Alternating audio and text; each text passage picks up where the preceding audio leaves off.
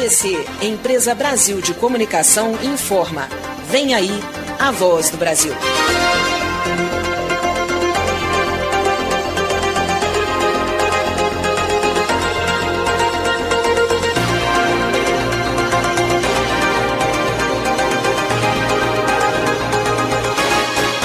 Sete da noite em Brasília.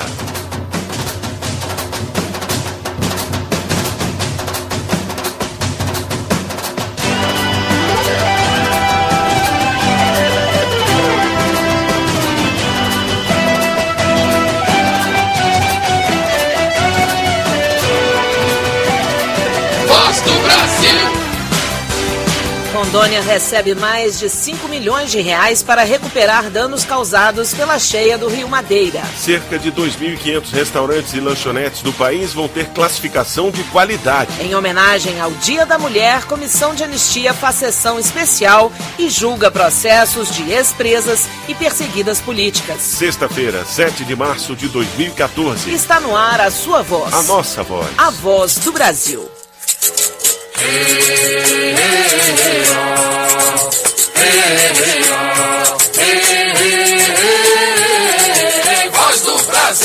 Boa noite, aqui no estúdio da Voz do Brasil, na EBC Serviços, eu, Luciano Seixas e Gláucia Gomes. Olá, boa noite. Quer conhecer os bastidores da Voz do Brasil do Poder Executivo? Assista nosso programa ao vivo em vídeo pela internet. Basta acessar agora www.ebcserviços, sem cedilha.com.br barra A Voz do Brasil. Voz do Brasil. O estado de Rondônia vai receber mais de 5 milhões e 266 mil reais para execução de socorro, assistência às vítimas e restabelecimento de serviços essenciais. O estado tem sido afetado neste início de ano pela cheia recorde do Rio Madeira, que já subiu mais de 18 metros acima do nível normal. Segundo a Defesa Civil do Estado, em Porto Velho, duas eh, mil pessoas, 2.200 famílias estão desabrigadas. A liberação dos recursos foi publicada no Diário Oficial da União de hoje. O Coronel Farias, oficial de comunicação dos Bombeiros de Rondônia, fala sobre os recursos e como eles serão utilizados.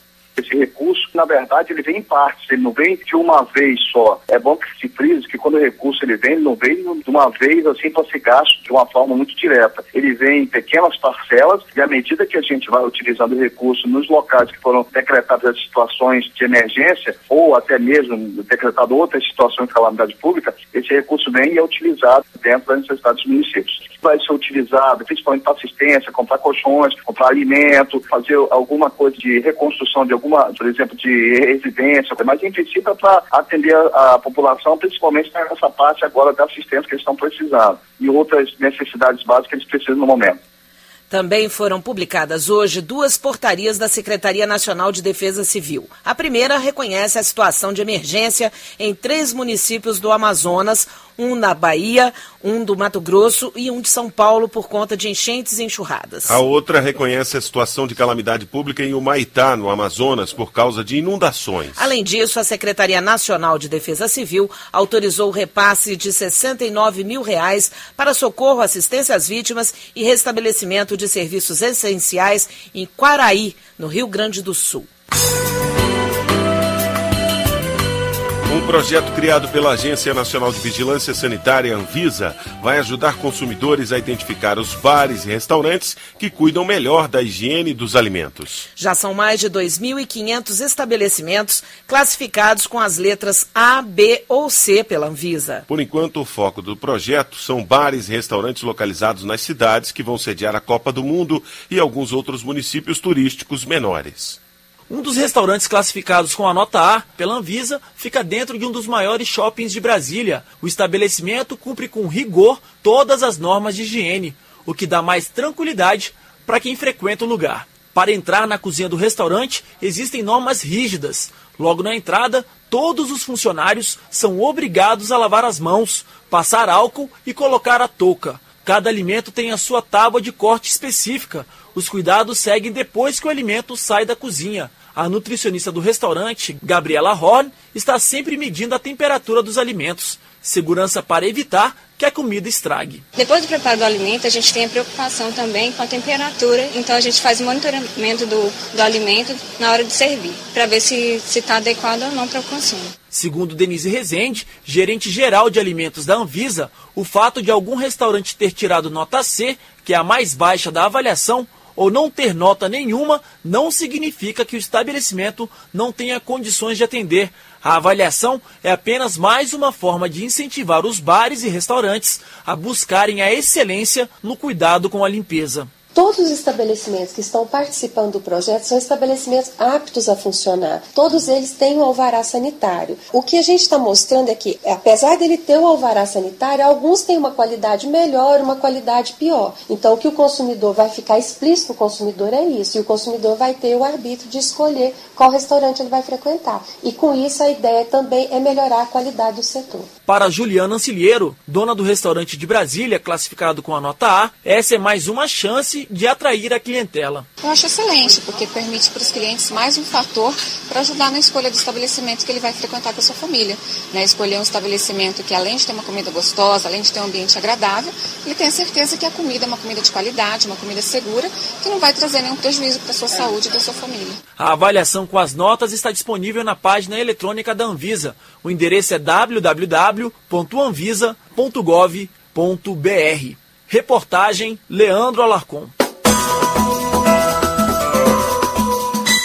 7 e 6. Amanhã é comemorado o Dia Internacional da Mulher. E as mulheres, Gláucia, estão estudando mais. Elas são maioria nos cursos de qualificação profissional do Programa Nacional de Acesso ao Ensino Técnico e Emprego, o Pronatec. A consequência disso é que mais mulheres estão empregadas, o que também aumenta a participação delas nas finanças de casa.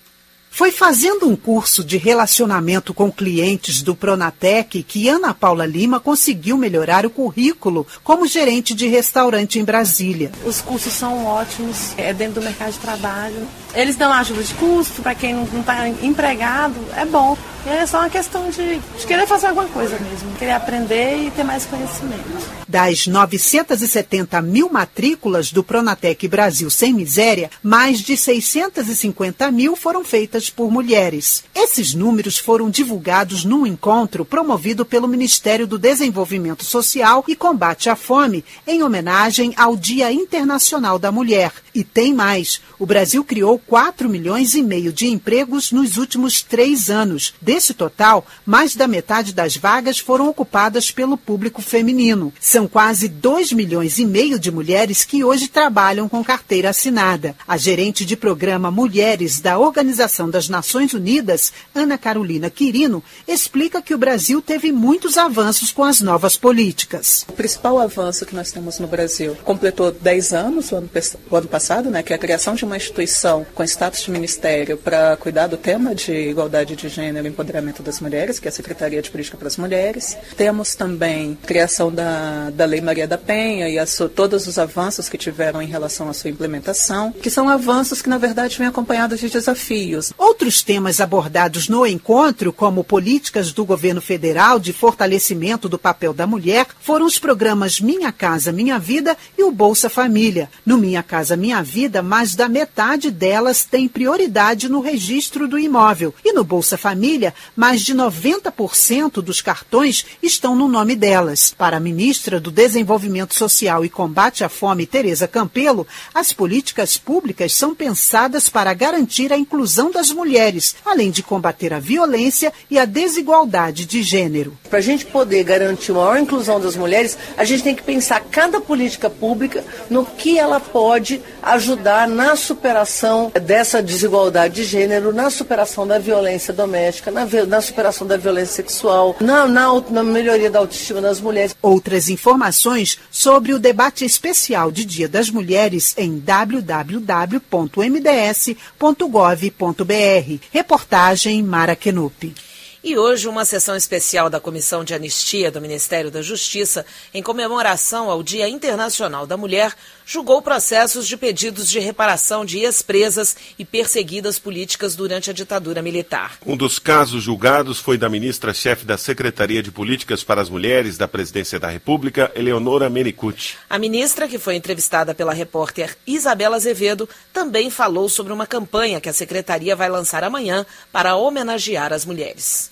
Ministra, qual vai ser o tema dessa campanha que vai ser lançada amanhã? Quais são os assuntos que vão ser abordados? Amanhã nós lançaremos uma campanha que mostra todas as conquistas do ponto de vista das políticas públicas que as mulheres brasileiras conquistaram e tiveram. Por exemplo, na questão da autonomia econômica das mulheres. E é muito importante articular isso com algumas políticas. E isso está ligado com Mulher Viver Sem Violência, que tem três ações que também está na campanha, que é a construção de 26 casas da mulher brasileira, uma em cada capital brasileira e no DF, integrarão neste espaço físico todos os serviços responsáveis pelo enfrentamento à violência.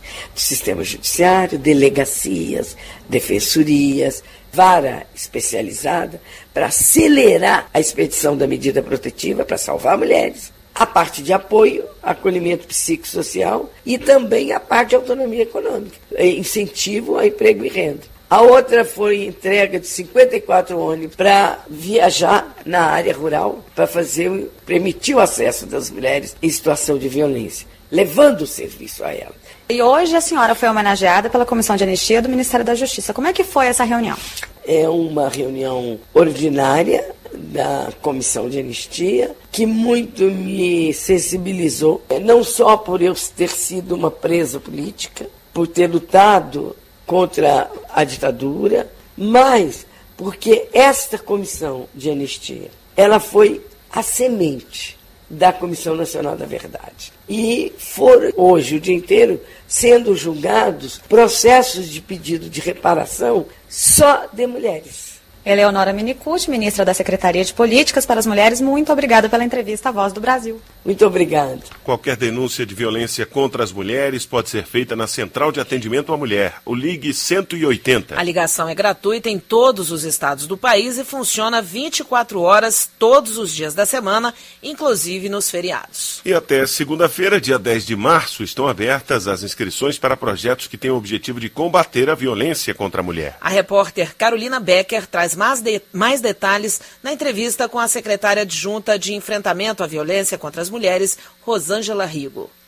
Que tipo de projetos vocês esperam receber? Nós estamos esperando receber projetos e propostas dos proponentes que venham a, alicerçados na política nacional e no Pacto Nacional de Enfrentamento à Violência contra as Mulheres. Porque justamente o objetivo desse repasse de recursos e desses convênios é ampliar a rede de atendimento especializado à violência contra as mulheres, é a gente apresentar, que os proponentes apresentem ações educativas que promovam a construção da igualdade que a gente possa uh, fazer a prevenção da violência contra as mulheres e ainda receber propostas de estudos e pesquisas em relação à violência contra as mulheres. O que, que os órgãos públicos e instituições privadas sem fins lucrativos devem fazer para inscreverem suas propostas? Todas, tanto os órgãos públicos como as, as ONGs, elas devem estar inscritas no SICOMV, apresentar as propostas e levar em conta a sua realidade local para pensar de que forma a gente pode ampliar esta rede de enfrentamento e as ações de enfrentamento à violência contra as mulheres no país. Qual que é o volume total de recursos? A Secretaria de Política para as Mulheres, em especial a Secretaria de Enfrentamento à Violência contra as Mulheres, para este, para estes convênios tem um valor de 100 milhões de reais para que a gente possa, ao receber as propostas, analisá-las e dentro da prioridade da SPM, poder aprovar e desenvolver essas ações. Qual que é o período de vigência desse convênio? A, a vigência do convênio após a celebração dele será de dois anos. E no mês da mulher, Gláucia, vamos saber mais na reportagem de Priscila Machado sobre um dos exames fundamentais para a prevenção da saúde das mulheres, a mamografia, que detecta possíveis tumores. Dora Portilho tem 54 anos e sabe da importância do exame de mamografia para as mulheres, principalmente na idade dela. Eu aconselho todas as mulheradas a fazer o exame de mamografia. E não dói, é um exame muito rápido. A mamografia é essencial para o diagnóstico precoce do câncer de mama. O exame é feito de graça pelo Sistema Único de Saúde e a faixa etária entre 50 e 69 anos deve ter atenção ainda maior, segundo o Ministério da Saúde, estudos comprovam que mulheres nessa idade têm maior chance de apresentarem câncer de mama. A partir dos 50 anos, o tecido mamário é substituído pela gordura e fica mais fácil também visualizar pelo exame um possível tumor. Uma nova portaria do Ministério da Saúde permite que mulheres entre 50 e 69 anos façam a mamografia sem necessidade de pedido médico e mesmo sem nenhum sintoma ou histórico da doença na família. A ideia ideia é simplificar o acesso ao exame nesta faixa etária, e os municípios recebem recursos adicionais para isso, como explica Elvésio Magalhães, secretário de Atenção à Saúde. Rastreamento é fazer de todas as mulheres, de 50 a 69, a cada dois anos, independente de qualquer coisa. Sequer precisa do pedido médico. Isso é uma política de saúde pública, um protocolo de saúde pública. Entre 2010 e 2012 foram realizadas pelo Sistema Único de Saúde mais de 4 milhões e 400 mil mamografias e houve crescimento de 30% no número de mulheres examinadas com idade entre 50 e 69 anos. É importante lembrar que mulheres de outras faixas etárias também têm acesso ao exame de graça pelo SUS, mas para isso é preciso apresentar a solicitação médica. Reportagem Priscila Machado. Divulgada hoje uma pesquisa que mostra quais os meios que os brasileiros utilizam para se informar atualmente. A televisão ainda é o meio de comunicação mais usado e quase metade dos brasileiros já utiliza a internet como fonte de informação. O levantamento mostra que 97% dos entrevistados se informam pela TV em seguida vem o rádio, ouvido diariamente por 61% dos participantes do estudo. O terceiro lugar ficou com a internet, utilizada por 47% dos entrevistados. Jornais são lidos por 25% dos participantes e revistas por 15% deles. Durante a divulgação do estudo, o ministro-chefe da Secretaria de Comunicação Social da Presidência da República, Thomas Trauman, ressaltou que quase metade dos brasileiros se informam pela internet. Todos nós tínhamos uma ideia muito clara uh, de que a importância da internet na, na informação do brasileiro ela vinha crescendo. Como nós não temos uma pesquisa anterior do mesmo tamanho, com as mesmas metodologias, a gente não pode fazer uma comparação. Mas a gente pode hoje dizer que sim, Quase metade dos brasileiros usa a internet como um meio cotidiano e rotineiro de informação. Uh, isso é muito importante, tanto para a nossa política de comunicação, como, para, como com informação, como o retrato de, de como o brasileiro se informa. A pesquisa foi realizada no final do ano passado. Foram entrevistadas 18 mil pessoas em todos os estados brasileiros. Reportagem Isabela Azevedo. A pesquisa completa pode ser acessada em www.brasil.gov.br. 717. Em todo o país, mais de 27 milhões de famílias estão inscritas no cadastro único dos programas sociais do governo federal. E de acordo com uma pesquisa do Ministério do Desenvolvimento Social e Combate à Fome, Luciano, 90% do cadastro é composto por famílias que recebem até meio salário mínimo. Por meio do CAD Único, Glaucia, as famílias de baixa renda têm acesso a 18 programas que beneficiam a vida pessoal e profissional. Ana Luísa Araújo trabalha como auxiliar de limpeza em uma escola do Riacho Fundo 2, que fica a cerca de 30 quilômetros de Brasília. Todos os meses, ela recebe um salário mínimo, que cobre com dificuldade as despesas da casa e dos três filhos. Ela conta que desde que começou a receber o Bolsa Família, muita coisa mudou ajudou muito, porque na época que eu fiz eu não trabalhava. Então sempre deu assim para pagar a conta de água ou luz, ou se não tivesse comprar uma verdura, fruta ou até mesmo comida, arroz, feijão que precisa para casa, né? Para receber o Bolsa Família é preciso fazer parte do Cadastro Único para Programas Sociais do Governo Federal, que serve como referência para outras 17 iniciativas voltadas à população de baixa renda, como Luz para Todos e o Programa Nacional de Acesso ao Ensino Técnico e Emprego, Pro Pronatec Brasil Sem Miséria. Em todo o país, 85 milhões de pessoas fazem parte do CadÚnico. O número representa quase metade da população brasileira. A diretora do Cadastro Único do Ministério do Desenvolvimento Social e Combate à Fome, Joana Mostafa, explica que esses números traçam uma radiografia da desigualdade social do país. Isso significa simplesmente que a gente tem que reconhecer essa desigualdade para poder mudar. Não tem como mudar sem reconhecer. Então, o primeiro passo é o reconhecimento, que é o primeiro passo ao cadastro único. Pode se inscrever no Cade Único quem tem renda mensal de até meio salário mínimo por pessoa ou famílias que recebem até três salários mínimos ao mês. Mais informações em 0800 707 2003. Reportagem Carolina Rocha. No domingo, dia 9 de março, termina o prazo dado pela Justiça Federal do Maranhão para que os não índios que moram na terra indígena Auaguajá deixem a área. Sobre o assunto, a jornalista Natália Koslik conversou com o coordenador-geral dos movimentos do campo da Secretaria-Geral da Presidência da República, Newton Tubino. O prazo para retirada das famílias da terra de Auaguajá termina no próximo domingo. Chegada essa data, como é que vai funcionar a retirada das pessoas? Prazo que, que vence na, no dia 9 é o prazo que o juiz tinha dado dos 40 dias. Até esse prazo a gente só poderia trabalhar naquelas famílias que estavam vencendo o, os 40 dias. A partir do dia 9, a gente pode trabalhar na retirada das famílias em qualquer local dentro da terra indígena. A gente vai seguir um cronograma que a gente está fazendo desde o início da operação, tirando aquelas famílias que têm outro local para ir ou que não têm interesse de ser assentada e que estão procurando outra área. O pessoal que foi cadastrado no INCA, que a gente tem 266 que foram cadastrados e selecionados 224. Esses a gente ainda vai deixar mais um tempo lá enquanto estiver ocorrendo a operação, porque a ideia é já levar eles para um local de definitivo que o INCRA vai indicar. E qual que é o balanço que o senhor faz das ações do governo na região? Olha, a operação até esse momento está correndo tranquila. A gente está conseguindo cumprir dentro do planejado a retirada da, dessas famílias voluntárias. Não houve nenhum incidente, nenhum conflito lá. Até agora está se transcorrendo normal e dentro do esperado. A gente já está concluindo quase toda a parte sul, que era a parte, na realidade, que a gente tinha mais número de famílias que não se cadastrou ao INCA. Na parte central e a parte norte, nós temos mais famílias que foram cadastradas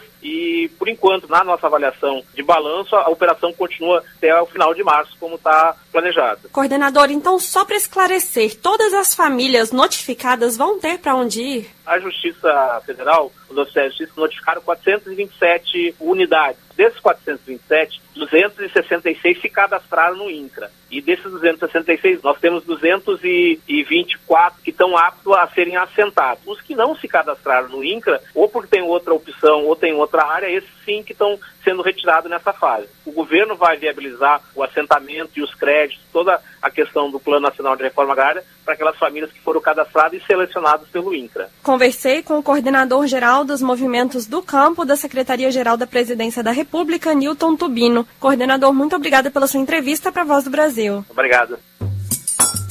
Voz do Brasil! História em quadrinhos abordando o tema ética e cidadania para ser discutida com as crianças na família. A ideia é que as pessoas tenham em mãos gratuitamente um material que trate do tema combate à corrupção voltado ao público infantil. A história em quadrinhos, Luciano, também pode ser usada nas escolas, órgãos públicos e ser compartilhada em ações comunitárias destinadas às crianças. Além do mais, Glaucio Gibi pode ser impresso no portalzinho da criança cidadã, na página infantil da Controladoria Geral da União, CGU. O endereço é portalzinho.cgu.gov.br.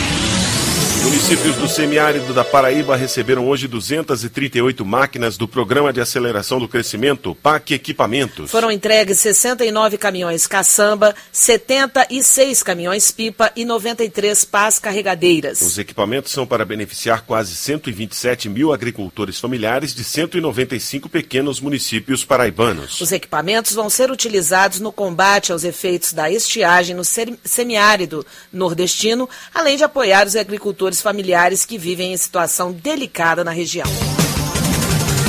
Termina segunda-feira, dia 10, o prazo para inscrição no exame para obtenção do certificado de proficiência em língua portuguesa para estrangeiros, o CELPE-BRAS. O CELPE-BRAS é o único certificado brasileiro de proficiência em português reconhecido oficialmente como língua estrangeira. É aplicado no Brasil e em outros países. Internacionalmente é aceito em firmas e instituições de ensino. Também são utilizados para avaliação de diploma, diplomas de profissionais estrangeiros que pretendem trabalhar no país. As provas vão ser realizadas entre os dias 8 e 10 de abril. A inscrição é feita exclusivamente pela internet, no endereço celpibras.inep.gov.br barra inscrição, sem o cedilho e sem o tio.